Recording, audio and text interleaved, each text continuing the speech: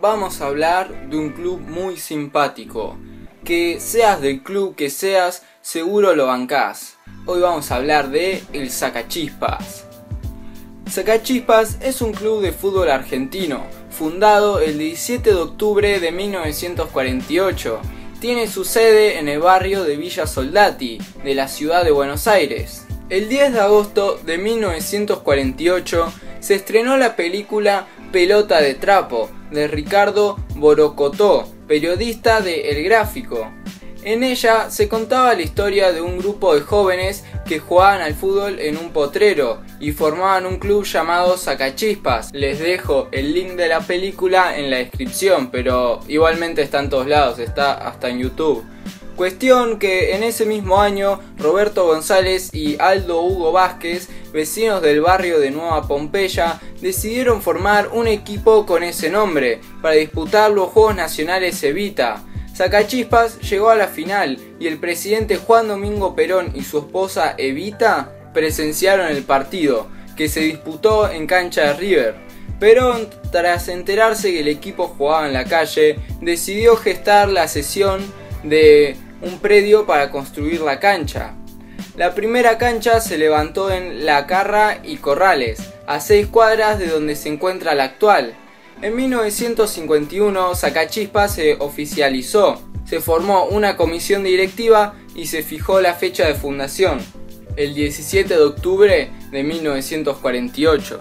En 1954 fue afiliado a la Asociación de Fútbol Argentino, o sea, la AFA, y en el primer campeonato que disputó obtuvo el ascenso a la categoría superior. Sacachispas descendió en 1962 a la primera D. Un año después volvió a ascender. En 1967 bajó nuevamente. En 1975 fue presidente por primera vez Roberto La Rosa, hasta 1983, cuando debió alejarse de su cargo por ser electo concejal de la ciudad, pero siempre estuvo colaborando con el club. Como concejal logró que Sacachispas obtenga definitivamente los terrenos que actualmente ocupa.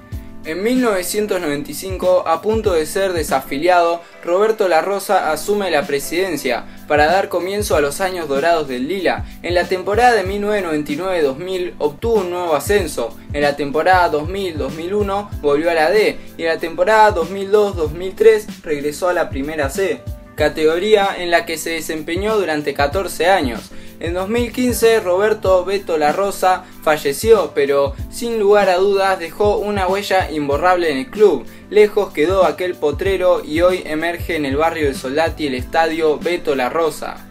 El 23 de mayo del 2017, Sacachispas eliminó a Arsenal de Sarandí, clasificando a los 16 avos de final de la Copa Argentina, siendo histórico, ya que es la primera vez que un equipo de Primera C elimina a un equipo de Primera División, o por lo menos hasta ese momento era un hecho histórico.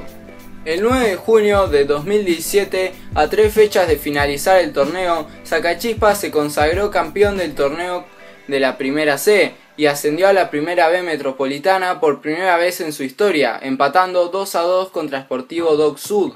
Su histórico rival es Deportivo Riestra, con el que se disputa el clásico malevo. Otras rivalidades son Deportivo Español y Barraca Central. En los últimos tiempos, el Sacachispa se hizo famoso por tres cosas. Primero por su particular nombre, segundo por la eliminación a Arsenal de Sarandí en la Copa Argentina y por último por sus salidas al campo. A la hora de hacer la foto vienen saliendo con diferentes vestuarios y haciendo diferentes formas. En un partido contra Comunicaciones salieron con máscaras de Messi. En el partido que jugaron contra Arsenal de Sarandí salieron con máscaras de superhéroes. Y en otro partido salieron vestidos de gladiadores. Gladiadores, ¿eh? Bueno, fenómenos. Y el saludo para sus hinchas. Es una formación. Genial, genial.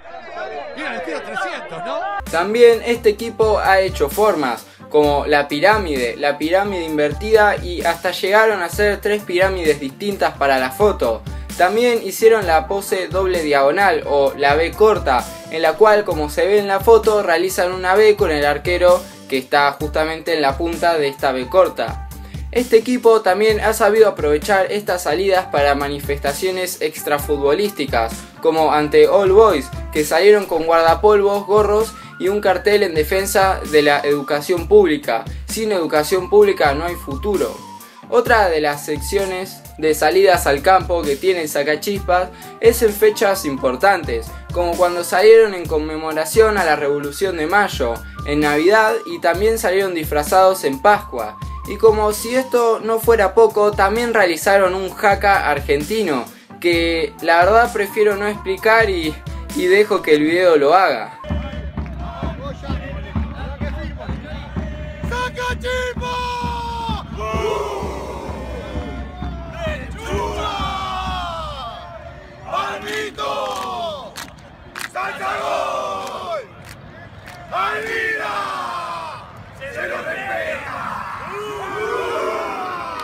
La verdad, un gran equipo que más allá de lo futbolístico es muy carismático y a más de uno nos sacó una sonrisa en su momento. La verdad, aguante el sacachispas. Yo, Dani Fulbo, lo rebanco.